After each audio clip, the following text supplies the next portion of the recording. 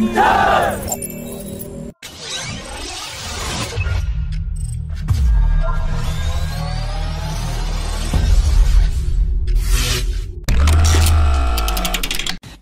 After the last test of the Mach 3.5 capable 500 km range BrahMos system, the DRDO and its associate labs have shifted their focus on the 800 km range BrahMos extended range Block 4 version that will also come with an enhanced speed of Mach 4.5. The DRDO is working to improve the second stage liquid ramjet engines to achieve the speed, and it will carry additional internal fuel for the extended range of 800 kilometers, and officials have said that it will be tested in third quarter of 2021.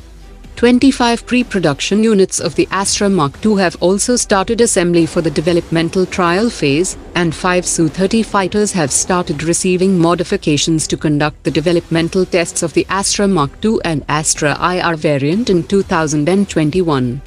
The Akash Next Generation Air Defense System has also moved from the development stage to the assembly stage, and it will also start developmental trials in 2021 the DRDO is developing a Mach 2.4 capable Star supersonic missile, and this sea-skimming target missile is designed to mimic an incoming supersonic missile, and will be used to test and evaluate supersonic engagement scenario, and it will be ready by the end of 2022 for demonstration trials. French officials have confirmed that four Rafale fighters of the French Air Force and A330 refuelers will arrive in India next week to participate in Skyros joint combat exercise with the Rafale and Su-30 fighter jets of the Indian Air Force that is scheduled to be conducted between 19th and 25th of January along the western border with Pakistan, which is seen as direct response to the recent China-Pakistan joint air exercise along India's western sector. The joint exercises will focus on interoperability to counter a common enemy, low-flying operations over the desert, as well as maneuverability of the Rafale fighters. After leasing two Sea Guardian drones from the US, the Indian Navy has now been approved by the central government to purchase 10 naval shipborne unmanned aerial systems under emergency procurement route for around 1,300 crore rupees through an open bid under the Buy Global category.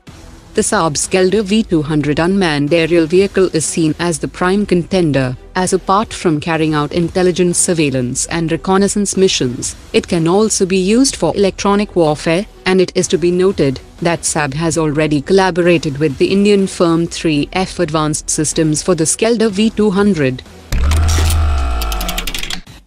The Indian Army has started the discussions with Indian startup companies to develop handheld drones for surveillance and target acquisitions. But the rise of private sector companies in the drone sector has not been easy, as the DRDO has been working silently so that these private companies cannot enter India's drone programs, and has ensured that the fundings required for their programs are not granted.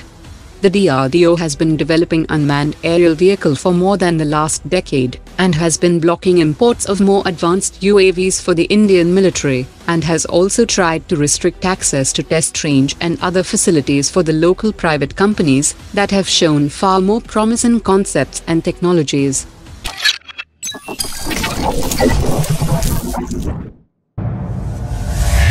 Omar dropped it.